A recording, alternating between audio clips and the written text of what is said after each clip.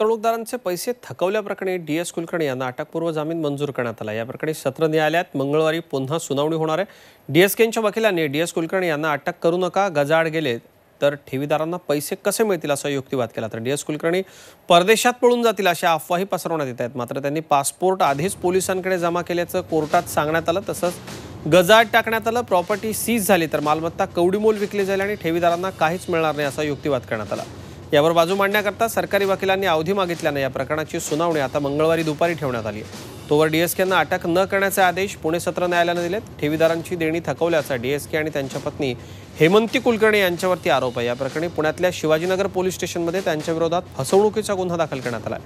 पुण्यामधल्या सहाशे गुंतवणूकदारांनी त्यांच्या विरोधामध्ये तक्रार दाखल केली आहे.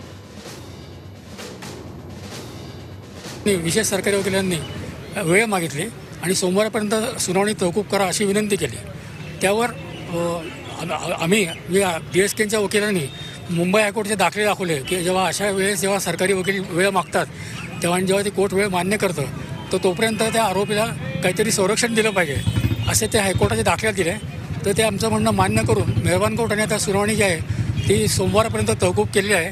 आणि तोपर्यंत डी एस कुलकर्णी किंवा त्यांच्या पत्नी यांच्याविरुद्ध पोलिसांनी कुठलीही कोअर्सिव्ह ॲक्शन घेऊ नये. म्हणजे त्यांना अटक करू नये असे या- त्यांनी आदेश दिले.